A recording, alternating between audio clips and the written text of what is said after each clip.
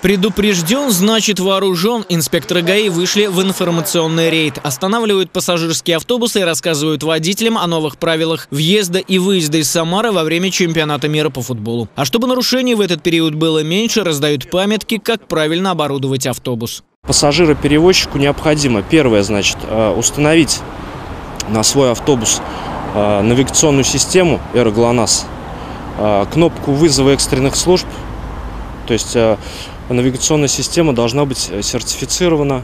А, вот. А, заключить соглашение. Второе. Заключить соглашение а, с АО «ГЛОНАСС» о передаче информационных данных о передвижении этого автобуса.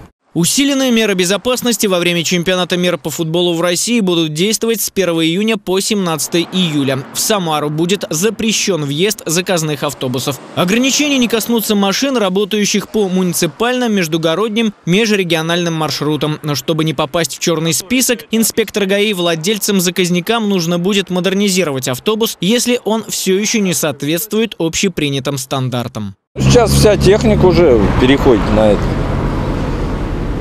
Так что, думаю, ничего страшного в этом нет.